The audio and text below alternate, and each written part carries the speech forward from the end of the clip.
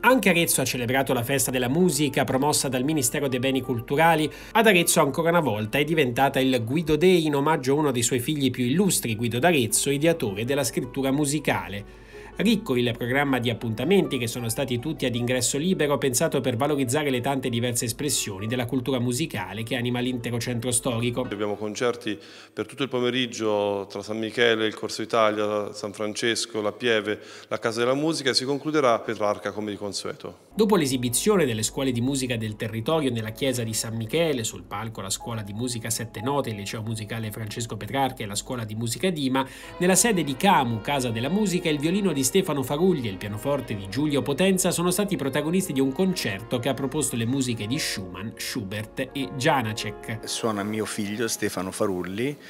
Eh, l'ho portato perché un eh, tipico esempio di un ragazzo che sta facendo una grande carriera all'estero, in particolare a Berlino, accompagnato da Giulio Potenza, un ragazzo che ormai insegna anche nel Regno Unito una coppia straordinaria che io ho creduto di dover portare qua a dispetto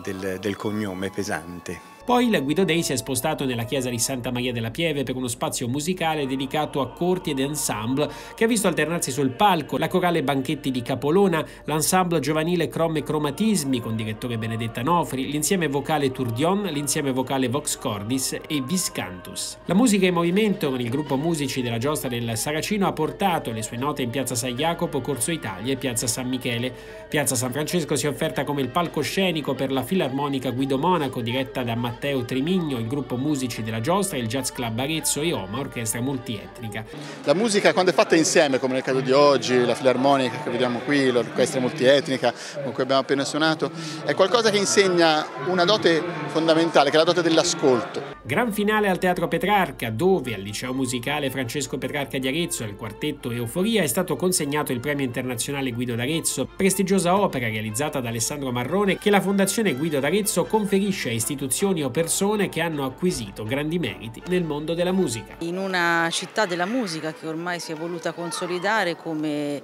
Arezzo capitale della musica e della formazione musicale, questa è una dimostrazione di un'affezione ormai profonda che credo la Giunta Ghinelli abbia intenzione di continuare e che ha segnato certamente questo primo mandato.